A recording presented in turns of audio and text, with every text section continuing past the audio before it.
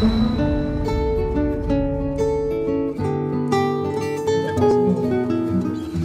吧？很好啊，我觉得很好，而且很很不一样了。因为我一开始也蛮担心的，尤其是我们在缝制娃娃的时候，很怕那些小孩子是拿到那个我们做的娃娃的时候，他们是会不就是不觉得怎么样的，反而他们让我们让我啦，让我自己再想到珍惜这件事情，因为哎呀。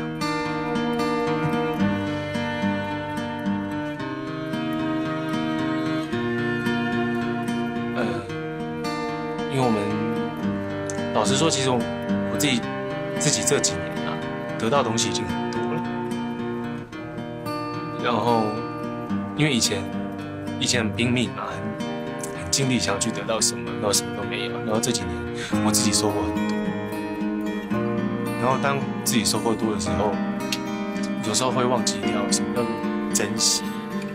所以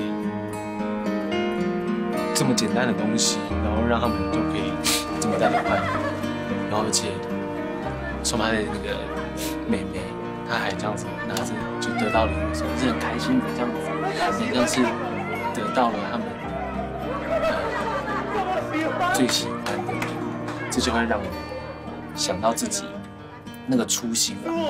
初衷很重要，所以我觉得很奇怪。